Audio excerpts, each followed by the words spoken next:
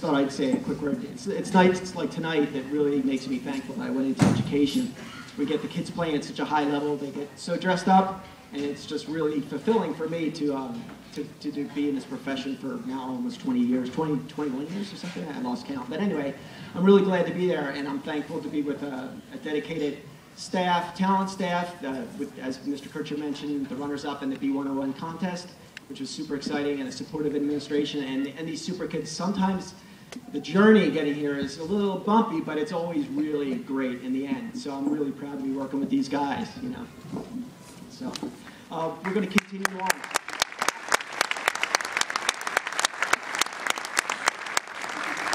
Sometime, uh, yeah, Lauren, yes. I lost my part. You, you lost your part.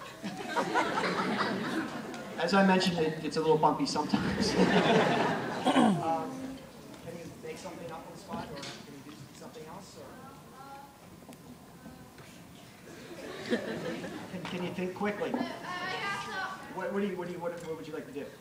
I want to sing. You want, we, haven't, we haven't tried this with everyone else. I don't know if we're prepared to do this yet. Hold that thought. Hold this thought. This makes me nervous.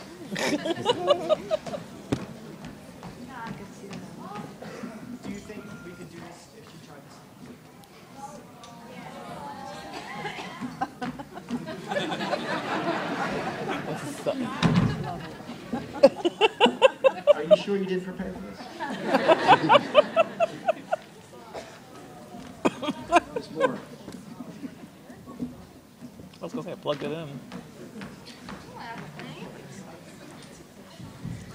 What song is she doing?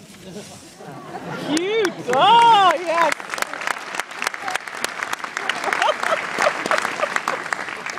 So, okay, you want to sing?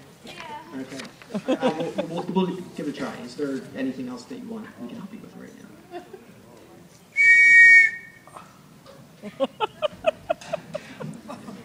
Hit it.